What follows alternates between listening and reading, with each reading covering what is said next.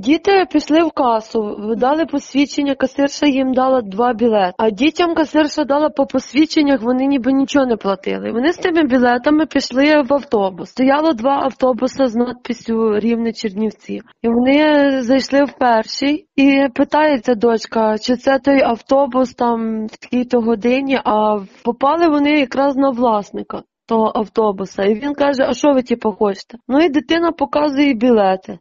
Він подивився, що білети з каси безкоштовні, що по посвідченнях, ну і зразу з ходу їх послав.